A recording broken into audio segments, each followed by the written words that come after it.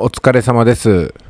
昨日でしたかね、日向灘沖の地震があって、宮崎県中心に、えー九州地方がだいぶ揺れたみたいでね、えー驚いた方も多かったんじゃないかなと。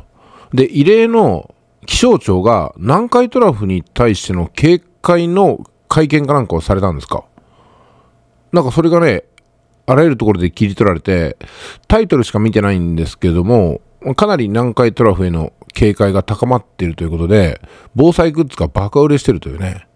いや私この南海トラフはね、あの、ノストラダムスの大予言と同じぐらいの悪質なデマだと思いますよ。いや、本当かもしれないけども、でも、で、一体どうしろって言うんだって話じゃないですか。南海トラフが来るぞーってね、片っぽでは気象庁が警戒を呼びかけといて、片っぽではあれでしょ？あの、何、関西万博かなんかはやめないわけでしょ？あと、東京都心の新築マンションもバンバン売りに出されてますけども、どういうことなんですかね。まあ、あの、地震は来るとは思いますけども、あまり大規模な地震だと私たち個人で対処できるものは全くないんですよ。かといって南海トラフの警戒を呼びかけている政府の方は、じゃあ防災対策を進めてるかって言ったら別にしてませんからね。何をしろって言うんだという話ですよ。で、そうは言ってもね、いつも呼びかけてるように、防災対策を個人でするのは非常に大事なんですよ。で、私がお勧めするのは、毎月の所得の100分の1を防災対策に充てるということで、まあ月収がね、20万のことだったら2000円。2000円だったら何ができるんだと。ペットボトルのお水2リットル6本入り1ケース。これ、高くても1000円弱だと思うんで2ケース買えますよね。で、それを半年続けると12ケース、どっかにね、きちっと置くことができると思うんですよ。それだけでもだいぶ違うんじゃないですか。で、たくさんあればあるほど安心なんですけども、結局、保管しておく場所がないでしょ。お互いに。ね、一戸建てでもあってね、遊んでる部屋が一つもあれば、十分備蓄はできるんですけども、でも、備蓄をいくらしたところでね、出勤中とか旅行中とか出張中で、南海トラフに襲われたら、自宅に備蓄してるものなんて何の役にも立たないんですよ。まあですんでね、本当に、これはノストラダムスみたいな感じで、1999年の7月に備えていた方は、まあね、来なくてよかったねとは言えるんですけども、そのために野菜火災売っ払っちゃった方とかね、いるわけですから。なんか私が聞いたところによると、どうせノストラダムスが来るんで地球は終わっちゃうから借金しとけみたいな感じで、借金をね、かなりして、1999年の8月に自己破産せざるを得なかったみたいなね、まあ、そんなちょっと冗談みたいな人もいるんですけども、まああの、どちらにしましても南海トラフね、この警戒を気象庁がしたっていうのは、ちょっとね、国民を惑わす、なんかネタなんじゃないかなっていうところがあって、相場解説の時も申し上げましたけども、あの、ドルがぐっと値段が上がったでしょ。日本の有事の時って、当然ですけども、円っていう資金がドルに行くじゃないですか。なんか、そのためにやったのかなみたいなね、ことをちょっとうがって見てしまうんですけども、あと、うがった見方といえばね、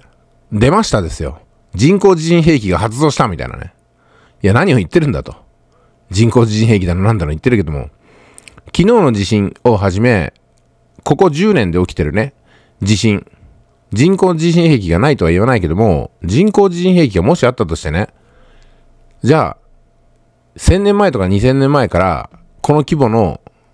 大きさで起きてる地震を、そのリズムをね、感覚を測ったところで、直近10年、20年の大地震のペースも同じなんですよ。ということは人工地震兵器が2000年前からあったんですかってことですよ。それとも近年地震が少ないから均一化を図るためにね、太古から続いてる大規模地震との平準化を図るためにわざわざ減ってしまった自然地震に人工地震を付け加えて、同じペースにしてるのかっってことですよね。まあ私のね、あの、知ってる人で、人工地震兵器の作ってる工場の下請け会社に弁当を納品していたって人がいて、その方から証言を受けたことがね、10年ぐらい前あったんで、ない話ではないと思うんですよ。うん。それであの、人工地震兵器を作ってる会社に、あの、電気を流してるね、電力会社っていうのがあったりとかね。うん。それから、当然ですけども、その人工地震兵器の会社に勤めてる、まあ、社員の方がね、なんか上司と揉めて、辞めたとかね。うん。随分パワハラだったらしいんで辞めたらしいんですよ。で、ボーナスがカットになったとか言ってね、なんか怒ってましたからね。で、正社員がどんどん派遣社員化されていって、なんか採用が絞られて、なんか人員不足になってるとかね、そういう話もありますし、うん、なんか天下り先にもなってるみたいなね。まあそういうふうな人工人兵器だってね、単なる一つの会社ですから、法人税も払ってるし、消費税も払ってるし、還付も受けてるし、出張もあるしね、結構大変らしいですよ。だから何でもかんでも人工人兵器のせいにしたらね、人工人兵器の会社で勤めてる役員の方とかね、やってらんないんで、この辺にしちゃってください。はい。ということでね、私たちができるのは、大規模な災害でも、小規模な災害でも、電池の備蓄、水の備蓄、そして、まあ、1万円分ぐらいの食料じゃないですか。段ボール1個分ぐらいのね、保存食。今でしたらレトルトで5年ぐらい持つやつがあるんで、あの、結構美味しいんですよ。羊羹とかね、乾パンとかあって。で、3食とおやつまで用意されていて、なかなか使えるんで、まあそれをね、用意しておくことぐらいじゃないですか。あとはね、なんかサランラップを用意するとか、紙の皿を用意するとか、なんかいろいろあるんですけども、できる人はいいんですけども、そもそも水の備蓄すらしてない人に、あれこれ用意しましょうっていうのも不毛なんで、ここでね、まとめさせてもらいますけども、まあペットボトルの水をちょっと用意しときゃいいんじゃないですかと。で、それに慣れたら、なんか別のものをね、充電器買ってみたりとかね、太陽光で、なんか USB えー、月のやつを買ってみたりとかね、えー、なんか暇つぶしの漫画を、まあね、災害に備えて買ってみたりとか、あと遺言書いとくとか、まあそのぐらいでいいんじゃないですか。うん、何回トラフね、